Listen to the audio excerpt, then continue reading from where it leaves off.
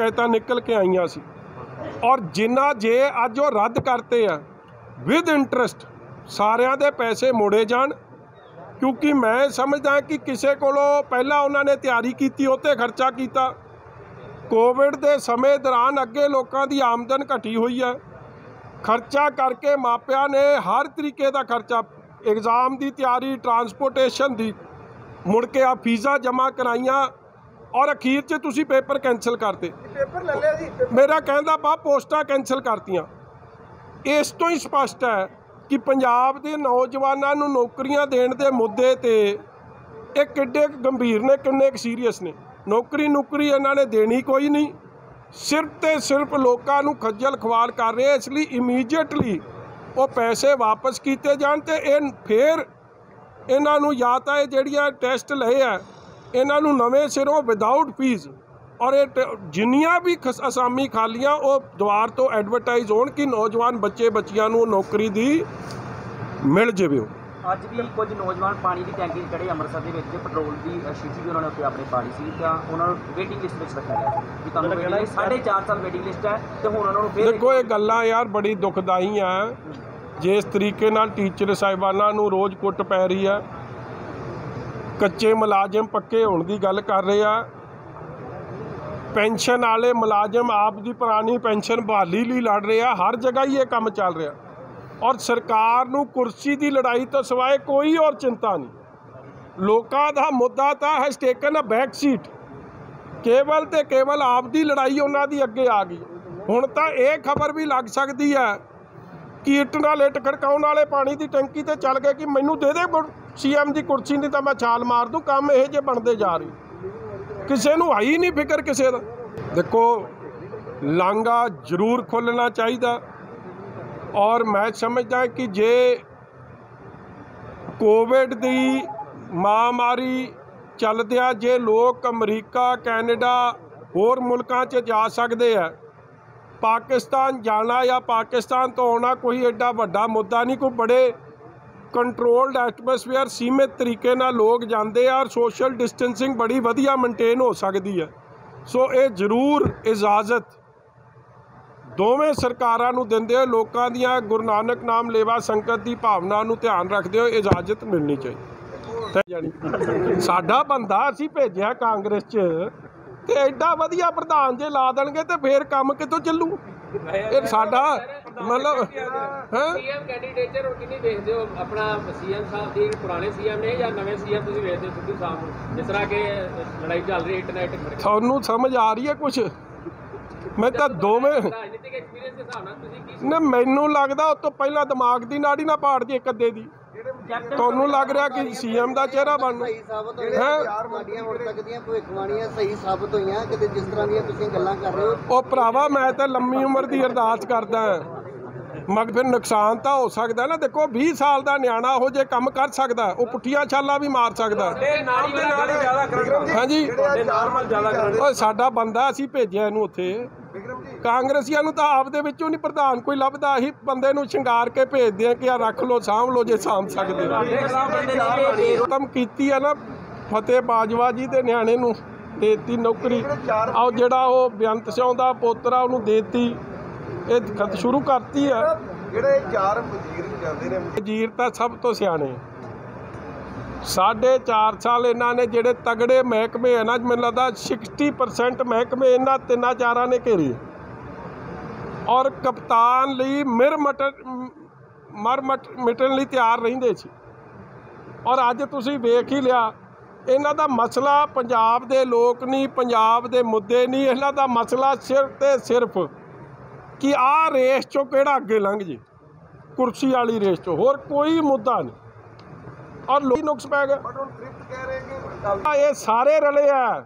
ਤੂੰ ਇੱਕ ਦੀ ਗੱਲ ਕਰਦਾ। ਇਹ ਸਾਰੇ ਸਾਡੇ ਬੰਦੇ ਆ। ਇਹ ਤੁਹਾਡੇ ਬੰਦੇ ਆ। ਇਹ ਪੰਜਾਬ ਦੇ ਬੰਦੇ ਤਾਂ ਇਹਨਾਂ ਨੂੰ ਹੁਣ ਹੋਰ ਕੁਝ ਰਹਿ ਕੁਝ ਨਹੀਂ ਗਿਆ ਕਹਿਣ ਨੂੰ। ਇਹ ਇਹਨਾਂ ਨੂੰ ਹੁਣ ਜਦੋਂ ਸਤਿਕਾਰਯੋਗ ਨੇ ਉਹਨਾਂ ਨੂੰ ਰੱਬ ਲੰਮੀਆਂ ਉਮਰ ਬਖਸ਼ੇ ਮੈਨੂੰ ਲੱਗਦਾ ਇਹ ਜਿਹੜੀ ਬੁਲਟ ਟ੍ਰੇਨ ਆ ਰਹੀ ਹੈ ਨਾ ਉਹ ਇੱਕ ਦਾ ਨਾਂ ਰੱਖ ਦੇਣ ਸੇਖਵਾਂ ਐਕਸਪ੍ਰੈਸ। ਇੰਨੀ ਤੇਜ਼ੀ ਨਾਲ ਉਹ ਪਾਰਟੀ 'ਚ ਆਉਂਦੇ ਜਾਂਦੇ ਪਤਾ ਹੀ ਨਹੀਂ ਲੱਗਦਾ ਕਿਹੜੇ ਸਟੇਸ਼ਨ ਤੋਂ ਕਦੋਂ ਚੜ ਗਏ। ਬ੍ਰਹਮਪੁਰਾ ਸਾਹਿਬ ਤੇ ਢੀਂਡਸਾ ਸਾਹਿਬ ਦੱਸੀ ਤਾਂ ਜਾਂਦੇ ਆ ਸਾਰੀ ਕਹਾਣੀ ਮੇਰੇ ਤੋਂ ਭਾਉ ਕੀ ਪੁੱਛਦਾ ਐਵੇਂ ਮੇਰੇ ਨਾਲ ਲੜਾਏਗਾ ਬਜ਼ੁਰਗ ਨੂੰ।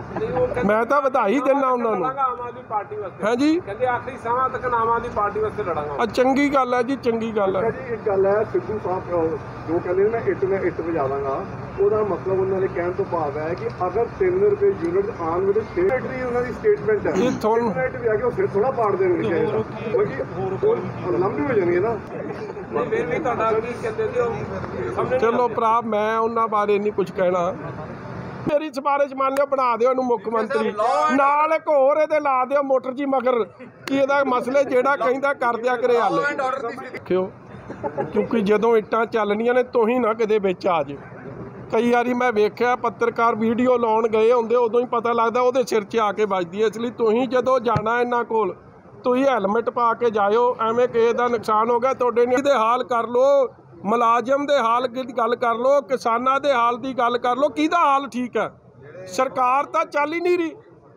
ਸਰਕਾਰ ਤਾਂ ਕੱਲਾ ਕਾਟੋ ਕਲੇ ਸਾਹਿਬ ਦੀ ਕੁਰਸੀ ਦੀ ਲੜਾਈ ਤੱਕ ਸੀਮਤ ਹੈ। ਪੰਜਾਬ ਨੂੰ। ਕਿ ਗੁਰੂ ਤੇਗ ਬਹਾਦਰ ਸਾਹਿਬ ਸੱਚੇ ਪਾਤਸ਼ਾਹ ਦੇ ਵਾਂਡੇ ਸਮਰਪਿਤ ਜਿਹੜਾ ਇਹਨਾਂ ਦਾ ਸੈਸ਼ਨ ਹੈ ਉਹ ਤੋਂ ਬਾਅਦ ਘੱਟੋ ਘੱਟ 10 12 ਦਿਨ ਸੈਸ਼ਨ ਵੱਖ-ਵੱਖ ਮੁੱਦਿਆਂ ਤੇ ਇਹ ਬੁਲਾਇਆ ਜਾਵੇ। ਸੱਦਣਾ ਜੀ ਸੈਸ਼ਨ, ਅਸੀਂ ਤਾਂ ਉਹਨਾਂ ਨੂੰ ਰਿਕੁਐਸਟ ਕਰ, ਤੁਹਾਡੇ ਮੀਡੀਅਮ ਰਾਈ ਅਸੀਂ ਲਿਖ ਕੇ ਵੀ ਰਿਕੁਐਸਟ ਕਰ ਰਹੇ ਤੁਹਾਡੇ ਰਾਈ ਵੀ ਕਹਿ ਰਹੇ 6 ਮਹੀਨਾ ਆ ਰਿਹਾ ਤੇ ਜੇ ਸੈਸ਼ਨ ਤੁਸੀਂ ਪੰਜਾਬ ਦੇ ਲੋਕਾਂ ਦੀ ਗੱਲ ਜਾਂ ਕਿਸਾਨੀ ਦੀ ਗੱਲ ਜਾਂ ਨੌ- ਮੁਲਾਜ਼ਮਾਂ ਦੀ ਗੱਲ ਜਾਂ ਨੌਜਵਾਨਾਂ ਦੀ ਗੱਲ ਜਾਂ ਬਿਜਲੀ ਦੇ ਮਹਿੰਗੇ ਰੇਟਾਂ ਦੀ ਗੱਲ ਜੇ ਗੱਲ ਹੀ ਨਹੀਂ ਕਰਨੀ ਲੋਕਾਂ ਦੀ, ਤੇ ਫਿਰ ਉਹ ਸੈਸ਼ਨ 'ਚ ਐਮਐਲਏ ਬਣਾਉਣ ਦਾ ਹੀ ਸਾਰਾ ਪਰਪਸ ਲੂਜ਼ ਹੋ ਰਿਹਾ। ਇੱਕ ਬਹੁਤ ਜ਼ਰੂਰੀ ਗੱਲ ਹੈ, ਜਿਹੜਾ ਮੈਂ ਸਮਝਦਾ ਪੰਜਾਬ ਦੇ ਲੋਕਾਂ ਨਾਲ ਔਰ ਜਿਹੜੀ ਲੋਕਤੰਤਰ ਪ੍ਰਣਾਲੀ ਹੈ ਜਾਂ ਜੋ ਲੈਜਿਸਲੇਟਿਵ ਸਿਸਟਮ ਹੈ, ਉਹਦੇ ਨਾਲ ਬੜਾ ਖੋਜਾ ਮਜ਼ਾਕ ਕੀਤਾ ਜਾ ਰਿਹਾ। ਭਾਵੇਂ ਮੈਂ ਜੋ ਗੁਰੂ ਤੇਗ ਬਹਾਦਰ ਸਾਹਿਬ ਸੱਚੇ ਪਾਤਸ਼ਾਹ ਨੂੰ ਸਮਰਪਿਤ ਸੈਸ਼ਨ ਬੁਲਾਇਆ ਗਿਆ ਉਹਦਾ ਮੈਂ ਸਵਾਗਤ ਜ਼ਰੂਰ ਕਰਦਾ, ਮਗਰ ਇਹ ਵੀ ਨਾਲ ਮੈਂ ਅਪੀਲ ਕਰਦਾ ਕਿ ਇੱਕ ਦਿਨ ਦੇ ਸੈਸ਼ਨ ਨਾਲ ਪੰਜਾਬ ਦੇ ਲੋਕਾਂ ਦੇ ਮਸਲੇ ਨਾ ਉਠਾਉਣ ਦਾ ਸਮਾਂ ਮਿਲਣਾ, ਨਾ ਗੱਲ ਕਰਨ ਦਾ ਸਮਾਂ ਮਿਲਣਾ, ਨਾ ਹੱਲ ਹੋਣੇ। ਔਰ ਕੇਵਲ ਤੇ ਕੇਵਲ ਕਾਂਗਰਸ ਨੂੰ ਇਹ ਡਰ ਹੈ ਕਿ ਉਹਨਾਂ ਦੀ ਜੋ ਉਹਨਾਂ ਦੇ ਖਿਲਾਫ ਨੋ ਕੌਨਫੀਡੈਂਸ ਮੋਸ਼ਨ ਜੇ ਆ ਗਿਆ, ਉਹਨਾਂ ਦੇ ਕੋਲ ਆਪਣੀ ਗਿਣਤੀ ਵਿਖਾਉਣ ਨੂੰ ਕਿਉਂਕਿ ਕਾਂਗਰਸ ਦੋ ਧੜਿਆਂ 'ਚ, ਠੋਕੋ ਤਾਲੀ ਧੜਾ ਤੇ ਕਾਂਗਰਸ ਅਮਰਿੰਦਰ ਧੜਾ, ਦੋ ਧੜਿਆਂ 'ਚ ਵੰਡੀ ਗਈ ਆ ਤੇ ਜੇ ਕਿਤੇ ਸੈਸ਼ਨ ਲੰਮਾ ਚੱਲ ਪਿਆ ਤੇ ਇਹ ਹਾਲਾਤ ਨਾ ਹੋ ਜਾਣ ਕਿ ਕਾਂਗਰਸ ਦਾ ਅੰਦਰੂਨੀ ਕਾਟੋ ਕਲੇਸ਼ ਸਰਕਾਰ ਉਸ 'ਚ ਡਿੱਗ ਸਕਦੀ ਹੈ, ਇਸ ਕਰਕੇ ਇਹਨਾਂ ਨੇ ਇੱਕ ਦਿਨ ਦਾ ਸੈਸ਼ਨ ਬੁਲਾਇਆ। ਮੈਂ ਫੇਰ ਕਹਿ ਦਿਆਂ, ਗੁਰੂ ਤੇਗ ਬਹਾਦਰ ਸਾਹਿਬ ਸੱਚੇ ਪਾਤਸ਼ਾਹ ਨੂੰ ਸਮਰਪਿਤ ਸੈਸ਼ਨ ਦਾ ਸਵਾਗਤ ਹੈ, ਮਗਰ ਨਾਲ ਹੀ 4 5 6 ਅਗਲਾ ਹਫਤਾ ਪੰਜਾਬ ਦੇ ਕਿਸਾਨੀ ਦੇ ਮੁੱਦੇ, ਪੰਜਾਬ ਦੇ ਮੁਲਾਜ਼ਮਾਂ ਦੇ ਮੁੱਦੇ ਮੁੱਦੇ, ਪੰਜਾਬ ਦੇ ਨੌਜਵਾਨਾਂ ਦੇ ਮੁੱਦੇ, ਪੰਜਾਬ ਦੀ ਇੰਡਸਟਰੀ ਦੇ ਮੁੱਦੇ ਪੰਜਾਬ ਦੇ ਹੋਰ ਜਿਹੜੇ ਵੱਖ-ਵੱਖ ਮੁੱਦੇ ਆ, ਉਹਨਾਂ ਨੂੰ ਸਮਰਪਿਤ ਇੱਕ ਇੱਕ ਦਿਨ ਰੱਖ ਕੇ ਸੈਸ਼ਨ ਦਾ ਘੱਟੋ ਘੱਟ ਇਹ 15 ਦਿਨ ਦਾ ਸੈਸ਼ਨ ਕਿਉਂਕਿ ਲਾਸਟ ਸੈਸ਼ਨ ਹੈ ਕਿ ਸਰਕਾਰ ਨੇ ਕਿਵੇਂ ਗੁਟਕਾ ਸਾਹਿਬ ਹੱਥ 'ਚ ਫੜ ਕੇ ਗੁਰੂ ਗੋਬਿੰਦ ਸਿੰਘ ਜੀ ਮਹਾਰਾਜ ਦੀ, ਸੱਚੇ ਪਾਤਸ਼ਾਹ ਦੀ ਪਵਿੱਤਰ ਚਰਨ ਛੋਹ ਧਰਤੀ ਤੇ ਖਲੋ ਕੇ ਝੂਠ ਬੋਲਿਆ ਕਿਵੇਂ ਅੱਜ ਉਹ ਫਾਰਮਾ ਦੀ ਰਾਜਨੀਤੀ ਕੀਤੀ ਹੈ ਔਰ ਇੱਕ ਵੀ ਵਾਅਦੇ ਤੇ ਪੂਰਾ ਨਹੀਂ ਉਤਰੀ ਹੈ। ਔਰ ਕਿਸਾਨ ਖੁਦਕੁਸ਼ੀ ਪਰਿਵਾਰਾਂ ਨੂੰ ਜਾਂ ਕਿਸਾਨੀ ਸੰਘਰਸ਼ ਸ਼ਹੀਦ ਹੋਣ ਵਾਲਿਆਂ ਨੂੰ 601 ਗਿਣਤੀ ਹੋ ਗਈ ਹੈ ਸ਼ਹੀਦ, ਸ਼ਹਾਦਤ ਦੇਣ ਵਾਲੇ ਪਰਿਵਾਰਾਂ ਦੀ 100 ਨੂੰ ਕੱਲੀ ਨੌਕਰੀ। ਉਹ ਵੀ ਸਾਡੇ ਰੌਲਾ ਪਾਉਣ ਤੋਂ ਬਾਅਦ। ਔਰ 1500 ਤੋਂ 1800 ਖੁਦਕੁਸ਼ੀ ਕਰਕੇ ਉਹਨਾਂ ਨੂੰ ਕੋਈ ਨੌਕਰੀ ਨਹੀਂ। ਇਹ double why this two agendas ਮਤਲਬ ਇੱਕੋ ਖੁਦਕੁਸ਼ੀ ਕਰਨ ਵਾਲੇ ਪਰਿਵਾਰ ਨਾਲ ਕਿਉਂ ਜਿਹੜਾ ਚੋਣ ਮੈਨੀਫੈਸਟੋ 'ਚ ਵਾਅਦਾ ਹੋਇਆ, ਉਹਨਾਂ ਨੂੰ ਨੌਕਰੀ ਕਿਉਂ ਨਹੀਂ? ਸ਼ਹਾਦਤ ਦੇਣ ਵਾਲਿਆਂ ਨੂੰ ਸਾਰਿਆਂ ਨੂੰ ਨੌਕਰੀ ਕਿਉਂ ਨਹੀਂ? ਇਹ ਸਾਰੇ ਵੱਡੇ ਮੁੱਦੇ ਨੇ ਜਿਹੜੇ ਅਸੀਂ ਉਠਾਉਣੇ ਸੀ, ਮਗਰ ਮੈਂ ਸਮਝਦਾ ਸਰਕਾਰ ਨੂੰ ਇਹ ਡਰ ਹੈ ਕਿ ਅਸੀਂ ਕਿਤੇ ਸਰਕਾਰ ਡਿੱਗੀ ਨਾ ਜਾਵੇ। ਉਸ ਕਰਕੇ ਲੋਕਾਂ ਦੀ ਆਵਾਜ਼ ਪੰਜਾਬ ਦੀ ਵਿਧਾਨ ਸਭਾ 'ਚ ਇਹ ਨਹੀਂ ਪਹੁੰਚਣ ਦੇ ਰਹੇ। ਹੋਏਗਾ ਪੰਜਾਬ ਦਾ ਹੀ। ਐਸਪੀ ਓਬਰਾਏ ਨੂੰ ਉਹਨਾਂ ਨਾਮ ਲਿਆ ਸੀ ਐਸਪੀ ਓਬਰਾਏ ਆਣ ਕੇ ਜਿਹੜੇ ਸਮਾਜ ਸੇਵੀ ਨੇ, ਪਰ ਉਹਨਾਂ ਨੇ ਇਨਕਾਰ ਕਰ ਦਿੱਤਾ। ਦੇਖੋ, ਓਬਰਾਏ ਸਾਹਿਬ ਦਾ ਤਾਂ ਅੱਜ ਬੜਾ ਵੱਡਾ ਬਿਆਨ ਆਇਆ ਹੀ ਹੈ ਕਿ ਉਹਨਾਂ ਨੇ ਸੀਐਮ ਦੀ ਆਫਰ ਇਹਨਾਂ ਦੀ ਰਿਜੈਕਟ ਕੀਤੀ ਹੈ। ਚਿਹਰੇ ਨਾਲ ਹਰਪਾਲ ਚੀਮਾ ਤੇ ਭਗਵੰਤ ਮਾਨ ਜੀ ਨੂੰ ਬਿਠਾ ਲੈਂਦੇ ਤੇ ਕਹਿੰਦੇ, ਮੈਨੂੰ ਚਿਹਰਾ ਲੱਭਦਾ ਨਹੀਂ। ਹੁਣ ਵਿਚਾਰੇ ਕਿਹੜੀ ਫੇਰ ਐਂਡ ਲਵਲੀ ਕਰੀਮ ਲਾਉਣ ਕਿ ਤੁਹਾਨੂੰ ਚੰਗੀ ਲੱਗੇ? ਇਹਨਾਂ ਦੇ ਚਿਹਰੇ ਪਸੰਦ ਆਉਣੇ ਸ਼ੁਰੂ ਹੋਣੇ ਤਾਂ ਇਹੀ ਦੱਸ ਸਕਦੇ ਆ। ਚਿਹਰਾ, ਚੂਰਾ ਇਹਨਾਂ ਦਾ ਪੰਜਾਬ ਦਾ ਹੋਣਾ ਹੀ ਨਹੀਂ।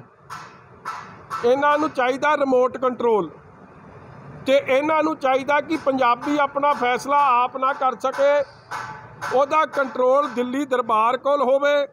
ਉਹੋ ਜਿਹਾ ਚਿਹਰਾ ਤਾਂ ਇਹਨਾਂ ਨੂੰ ਕਦੇ ਵੀ ਨਹੀਂ ਲੱਭਣਾ ਕਿਉਂਕਿ ਪੰਜਾਬੀ ਆਪ ਦਾ ਫੈਸਲਾ ਆਪ ਕਰਨ ਲਈ ਸਮਰੱਥ ਨੇ ਔਰ ਮੈਂ ਸਮਝਦਾ ਇਹਨਾਂ ਨੂੰ ਕੋਈ ਚਿਹਰਾ ਬਾਈ ਤੋਂ ਪਹਿਲਾਂ ਪਸੰਦ ਆ ਜੇ, ਇਹ ਬੜੀ ਪ੍ਰਾਪਤੀ ਹੋਊ।